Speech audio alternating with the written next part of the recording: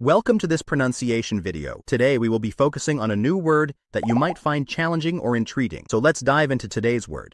Guadalupe, which means a religious figure and place, symbolizes Mexican faith and culture.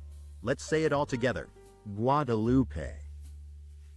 Guadalupe. Guadalupe. One more time. Guadalupe. Guadalupe.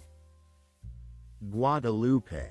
Thank you for joining us on this adventure in pronunciation. Remember, language is a journey, not a destination. Keep exploring, experimenting, and expanding your linguistic horizons. We'll see you next time.